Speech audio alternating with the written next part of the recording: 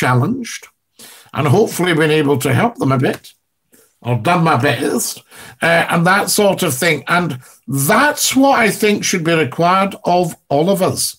So I would like to think that McClue is a public servant. All right, there we are. But it's up to you because you are the public. Uh, do you like David Attenborough, Scottie? I was watching his latest series on Netflix last night. I, I don't just like David Attenborough, I adore him. And I adore him for what he's done in his life. And I adore him because he's also a lovely guy, a super guy. And I loved his brother Dickie, Richard Attenborough, the actor, who was uh, founded Capital Radio and was the first chairman of Capital Radio. And there's a lovely story that when Capital Radio was being set up, uh, because it was a bit delayed getting everything off the ground, and there was huge money involved, and um, the bank manager was getting anxious. So he called Richard Attenborough in. And I mean, Richard Attenborough was like the director of Gandhi and things like that.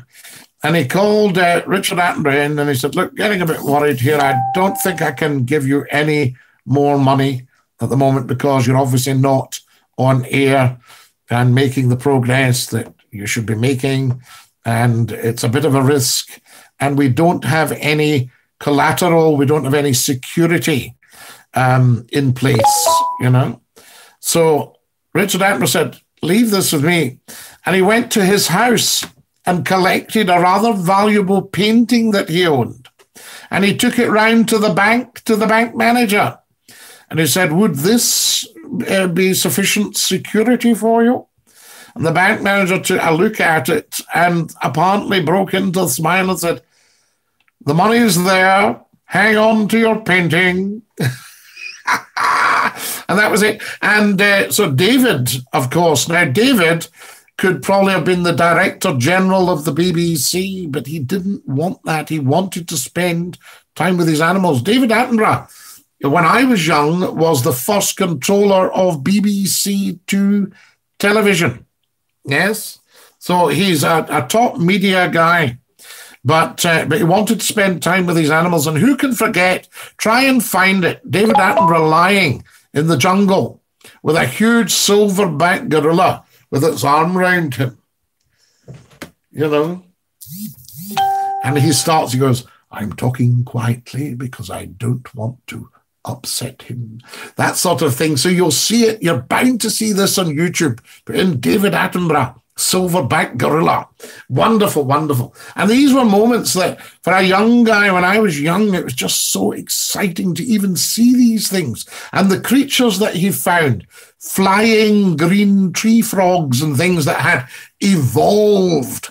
And now, of course, he's imparting huge, huge wisdom, and we should really, really listen to him about the future of the planet.